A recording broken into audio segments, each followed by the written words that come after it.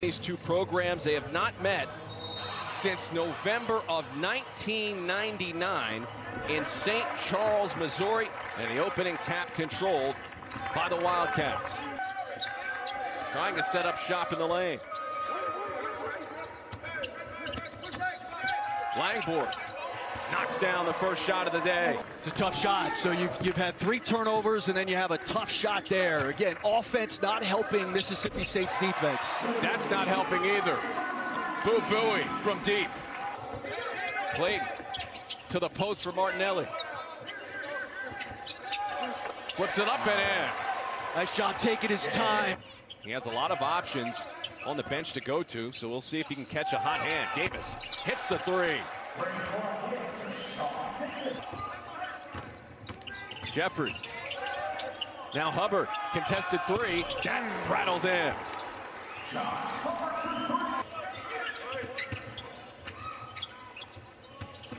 Jones trying to get a step on Martinelli and one for Shawn Jones Jr. And the Texas native will go to the line. Hubbard. Tough shot, banks it in.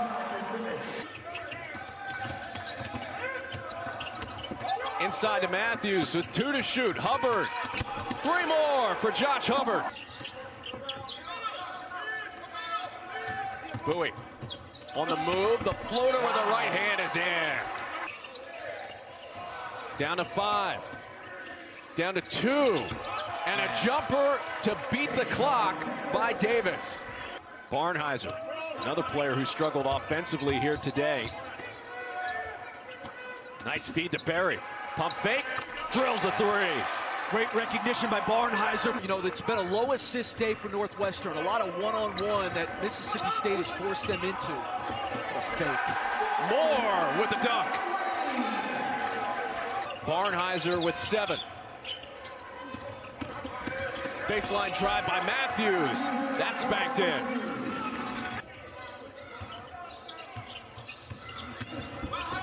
Moore drifting and scoring.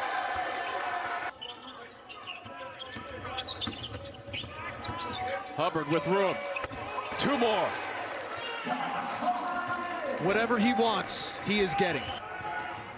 Langborg with 43 seconds left.